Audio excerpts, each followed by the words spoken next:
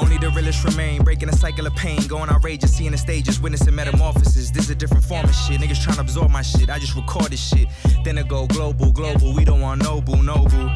We just want soul food, soul food. Somebody please bring some soul food shit. Look, fuck them all. Can't hear by myself and now I'm on. Niggas act like family, but we not like son in laws. Said loyalty before royalty, and niggas check the scores when they should've checked they balls.